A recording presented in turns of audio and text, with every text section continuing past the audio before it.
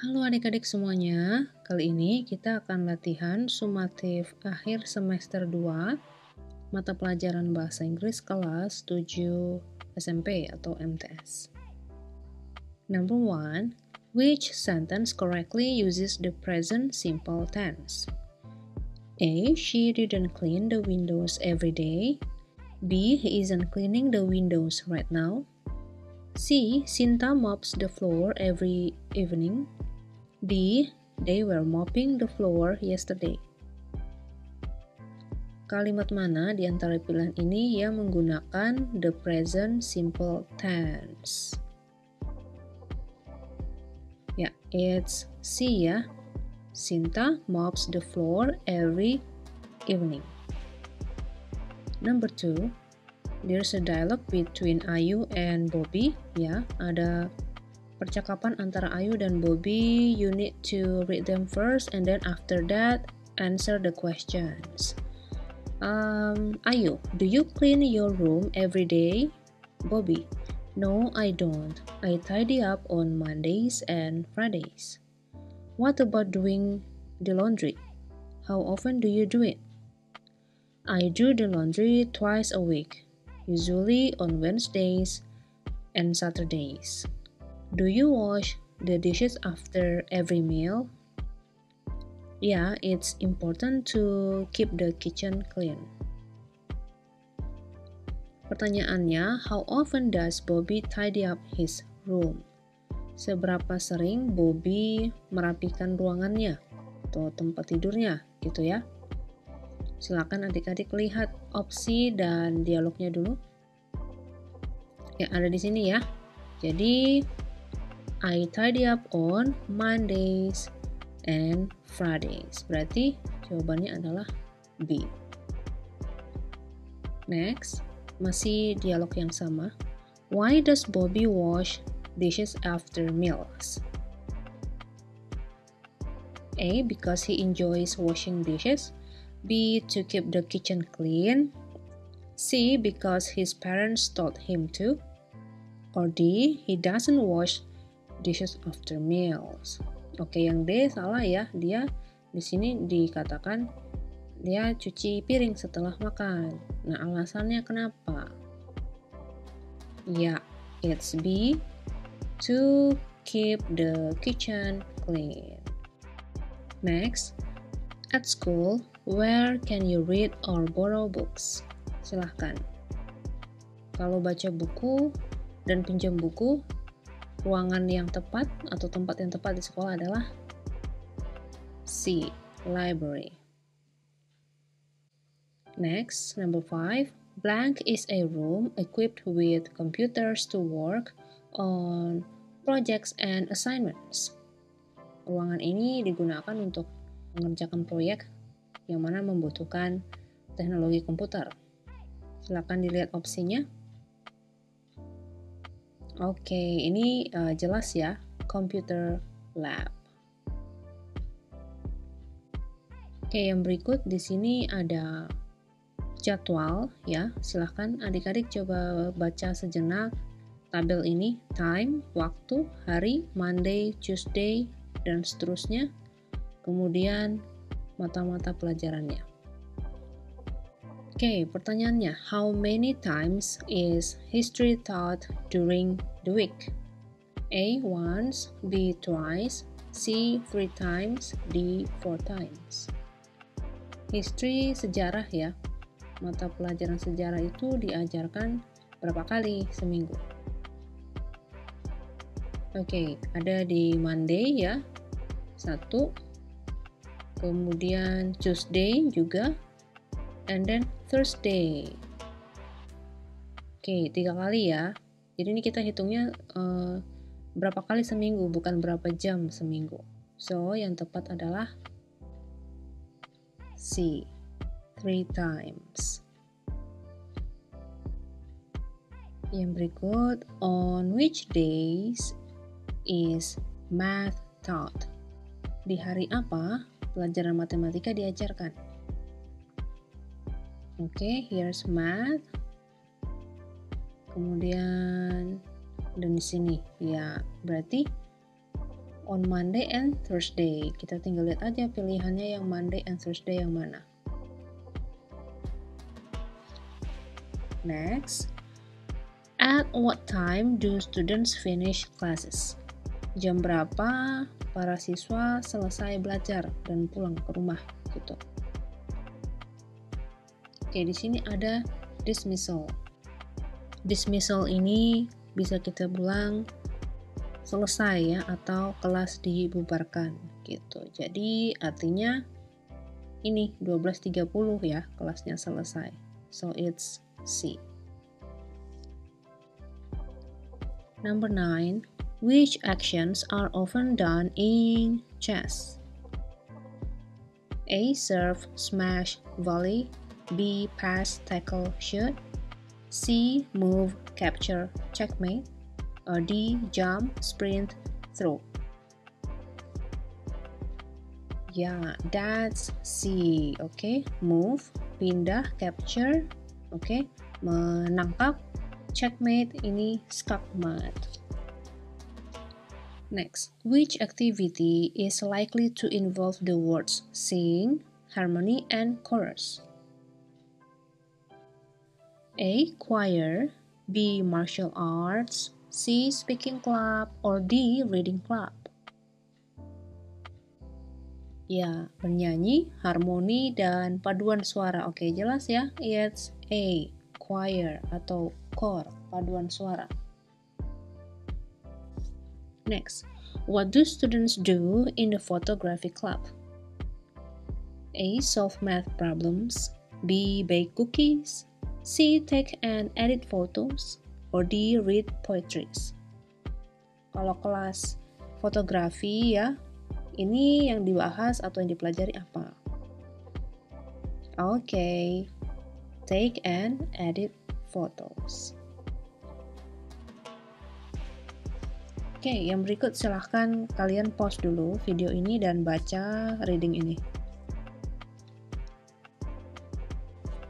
Oke, kakak anggap kalian sudah membacanya ya dan memahami, berusaha memahami kita ke soalnya. What feature do students use to work together during online classes? Di teks tadi disebutkan uh, fitur apa yang para siswa gunakan untuk bekerja sama ya selama kelas online.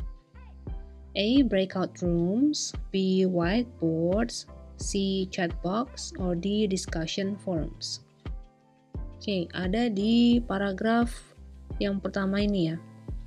We see our teachers and friends on the computer screen and we use cool features like breakout rooms to work together. Oke, yang ini. Berarti jawabannya adalah fitur breakout rooms. Jadi kalau di online class itu misalnya kalian gunakan Zoom atau uh, platform serupa, ada satu fitur namanya breakout rooms di mana kalian bisa uh, berkelompok gitu ya dalam satu uh, link. Jadi kalau di kelas offline itu kalian duduk berkelompok gitu. Misalnya ada empat kelompok. Nah itu ada fitur backup room juga untuk empat uh, layar. Tapi nggak uh, bisa kalian lihat kelompok yang lain. Jadi kalian hanya di kelompok kalian itu aja kayak gitu. Dan guru bisa masuk ke setiap link-link breakout rooms itu. Oke, okay, yang berikut. What is the term used for feeling tired after staring at the screen for too long? Apa istilahnya kalau kita udah lelah ya saat melihat layar laptop atau komputer? Oke, ini ada di bagian ini. Oke, jelas di sini. Uh, Looking at the screen for a long time can make us feel tired. That's called screen fatigue. It's B. Next, how do students communicate with their friends during online classes? A. By talking on the phone. B. By using the chat box. C. By sending letters. Or D. By meeting in person. Okay. Kalau di kayaknya nggak mungkin ya karena ini udah jelas judulnya online class. Kalau meeting in person berarti ketemu secara langsung gitu. Ya, ini ada di sini ya. The good thing is we can still talk to our friends in the chat box and ask questions during the online lessons. Jadi salah satu fiturnya di sini adalah using the chat box. Next, how should students signal they want to speak during an online class?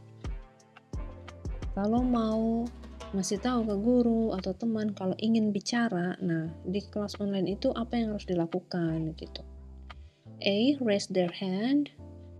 B. Shout out loud. C. Type in the chat box. Or D. Unmute their microphone. Jadi sinyal apa yang diberikan sebelum ngomong gitu. Jadi tidak langsung yang ngomong gitu ya. Ya, raise their hand atau kalau ada fiturnya fiturnya itu biasanya di bagian uh, dekat tombol mikrofon kamera itu ada gambar tangan. Nah itu digunakan uh, dipencet ya saat ingin berbicara. Next Randy could you blank please? Because I cannot see you. Silsi sure A. Join discussion B. Mute the microphone C. Turn on the camera or D. Write on the chat box Oke, bisakah kamu apa? Karena saya nggak bisa melihat kamu. Oke, ini masih di uh, konteks kelas online ya. Berarti Silsi harus ngapain supaya Randy bisa lihat? Ya, turn on the camera. Next, which one is not a part of staying organized with schoolwork? Yang mana di antara pilihan ini yang bukan cara atau kiat untuk tetap terorganisir dengan uh, pelajaran, dengan uh, studi kamu di sekolah? Jadi ada satu yang salah di opsi ini. Oke, okay. It's dia by playing video games all the time. Kalau yang lain, setting reminders, pengingat untuk belajar ini merupakan uh, kiat yang baik. Terus frequently checking class schedule, cek jadwal, ini juga terorganisir ya. Uh, ciri-ciri orang yang disiplin, terorganisir. By taking notes while studying, mencatat saat belajar, nah ini juga baik. So, D ya. Next, how can you show good learning habits in class?